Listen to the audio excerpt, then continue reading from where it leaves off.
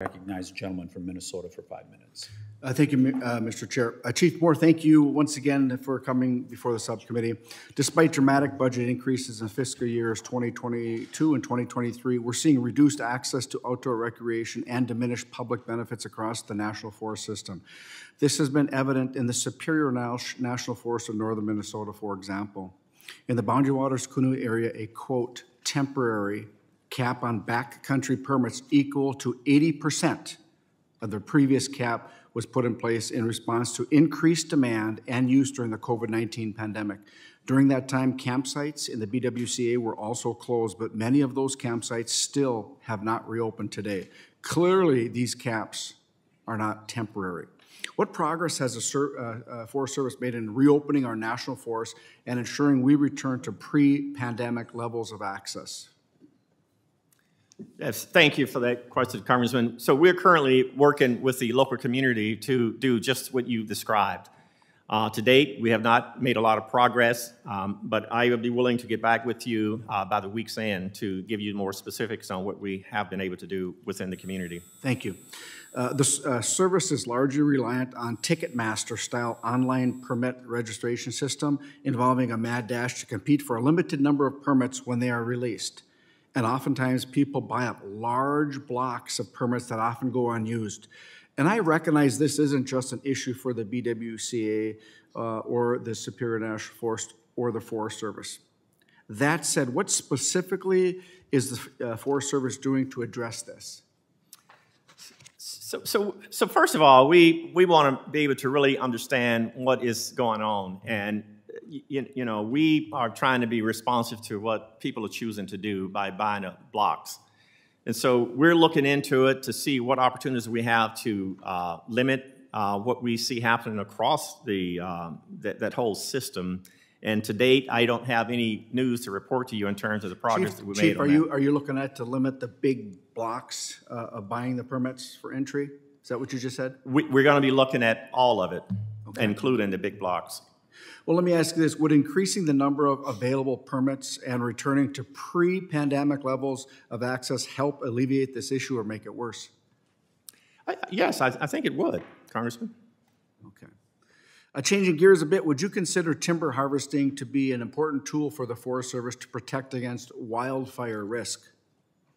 Uh, yes, timber is a necessary tool.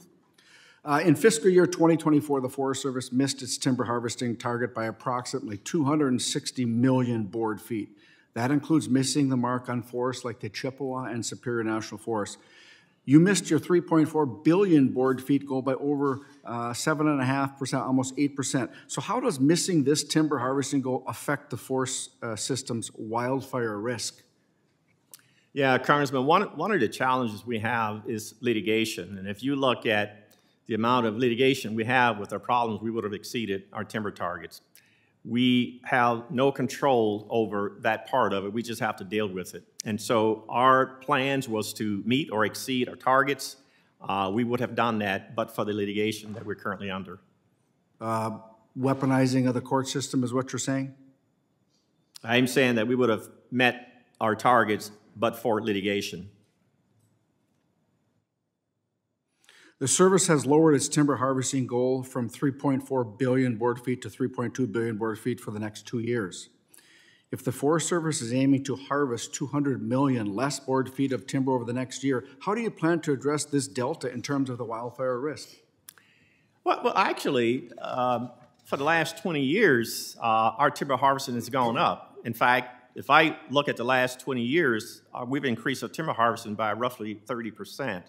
So I'm not really sure about the numbers that you know that you're spouting, but I'd be happy to meet with you separately to look at the numbers that you have and where you got those numbers from and compare to what we're showing in our books.